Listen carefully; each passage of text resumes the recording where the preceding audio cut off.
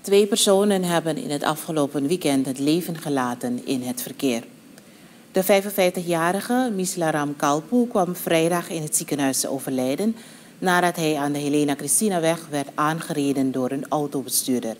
Hij was niet onder invloed van alcohol en verklaarde dat hij de aanrijding niet meer kon voorkomen omdat het latere slachtoffer plotseling op het wegdek sprong.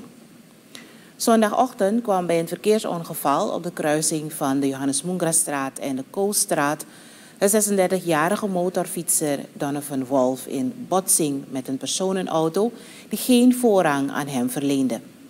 Toen de ambulance ter plaatse arriveerde bleek dat de motorfietser reeds was overleden. Het aantal verkeersdoden staat met deze ongevallen op 21 personen voor 2022.